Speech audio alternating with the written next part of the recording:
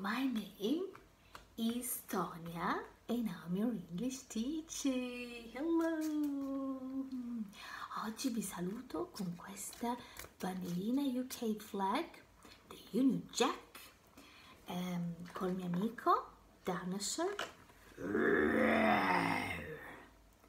E London, guardate siamo a Londra, and Santa Claus. Oh, oh, oh. Ecco, oggi mi fanno compagnia un po' di, um, diciamo, di amici, eh, ecco, e di, um, di, cose, di oggetti che sono un po' legati a, a me, uh, al mio percorso e quindi uh, siamo arrivati a, a, un nuovo appuntamento con uh, l'avventura, la mia avventura in Asborn il mio perché. Ecco, e oggi mi vorrei eh, soffermare sull'autostima. Eh, ecco, molto spesso eh, quando si è più piccoli, più giovani, si inizia ehm, diciamo all'università, si hanno eh, tantissimi sogni, quelli, quello di eh, magari andare lontano, eh, conoscere nuove eh, persone e nuove culture. E mm, ecco, io tutto questo l'ho fatto.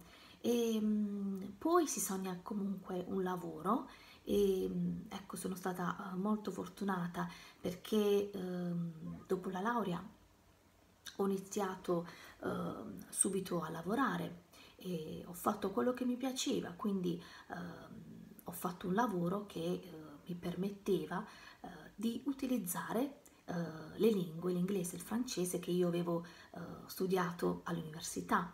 E um, ho lavorato con i turisti, ho lavorato nel commerciale, quindi contatti con l'estero e, um, e poi anche nell'insegnamento, quindi nella formazione come docente. E, mm, e quindi eh, poi ho iniziato il mio percorso con uh, i piccolini da quando sono nati i miei bambini, quindi ho voluto approfondire proprio il tema dell'apprendimento nella prima infanzia. Eh, ecco, tutto questo per arrivare eh, a un punto. Eh, quando si diventa eh, più grandi, quando si diventa genitori, eh, molto spesso mettiamo un po' da parte quello che noi siamo e quello che sono i nostri sogni. Eh, non possiamo più andare a Londra o mm, nel Regno Unito, in Arizona dove sono stata io e mm, ecco questo viaggio uh, Santa Claus Journey lo dobbiamo fare uh, un po' nella nostra mente e um, però uh, devo dire che nel mio caso eh, ho recuperato, nel senso che uh, nonostante un po' di stand by, quindi con i bambini, uh, poi dopo mi hanno dato loro stessi una uh, carica a, a, rimettermi in cammino e mi hanno dato proprio loro degli input, degli stimoli a, a ricreare, a creare qualcosa eh, che potesse avere dei, dei, dei benefici per loro, per la nostra famiglia, ma anche per gli altri ed è quello che mi piace di più.